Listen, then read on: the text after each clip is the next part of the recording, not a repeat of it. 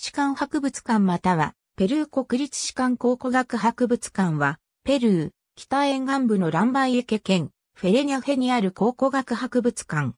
主にフェレニャフェ近くの遺跡から出土した士官文化の土器や金属器などの考古遺物を展示、所蔵する。士官文化ないしランバイエケ文化は、およそ8世紀から14世紀の間にペルー、北沿岸部に栄えたプレインカ文化の一つ。1375年頃のチムー王国による征服で終わった。高度な夜勤技術で知られ、数々の金星、基礎銅製の金属器が出土している。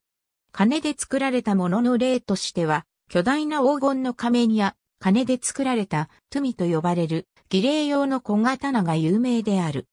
士官文化における宗教儀礼の中心地であったと考えられるトゥクメやポマの森歴史保護区には、日干しレンガで作られた遺跡があり、士官博物館から日帰りで行ける。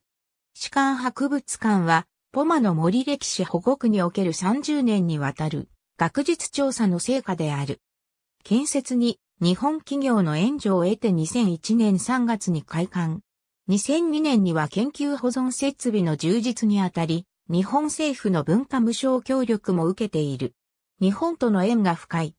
また、展示に際しては、アメリカの南イリノイ大学の研究者らの実証的研究に依拠している。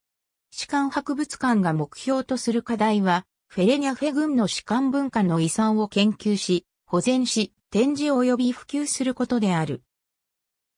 また、ランバイエ家に、かつて存在した複数の文化それぞれに生きた先祖のアイデンティティを強化することに努め、もって今を生きる郷土のコミュニティの自尊心と文化価値を高めることを目的としている。